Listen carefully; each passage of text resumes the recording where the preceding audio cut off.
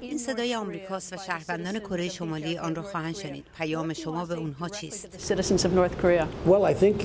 نظر من شما با کسی طرف هستید که خیلی آنها را دوست دارد و میخواهد در حق آنها خوبی کند. ما خیلی خوب با هم کنار آمدیم و نسبت به هم حس بسیار خوبی داشتیم که برای من بسیار مهم است. وقتی این حس خوب متقابل نباشد، هر کاری بکنید باز هم کار درست نمی شود. فکر می کنم که اتفاقات بسیار خوبی برای کره شمالی پیش می nyomját.